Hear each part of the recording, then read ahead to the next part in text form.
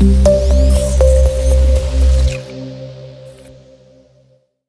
à tous, l'indice CAC 40 termine la séance sur une note positive.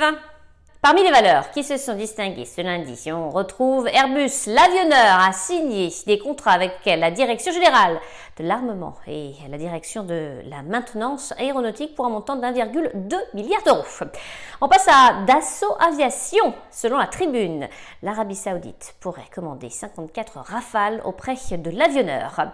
Total Energy, le groupe d'énergie, s'est de son côté associé à Corio Génération, développeur spécialisé dans l'éolien au et Rise Light and Power, producteur d'électricité, pour développer conjointement le projet éolien offshore Attentive Énergie situé au large des côtes de New York et du New Jersey.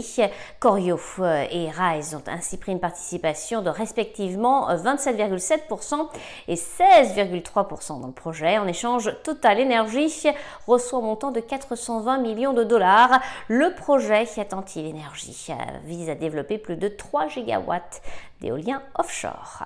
Le reste de l'actualité avec Sanofi, le laboratoire pharmaceutique a annoncé que les résultats positifs d'un essai de phase 3 ont permis de démontrer que le profil d'efficacité et de sécurité de Dupixent administré pendant une durée d'un an à des enfants âgés de 1 à 11 ans atteints d'ésophagite et sinophile est resté constant.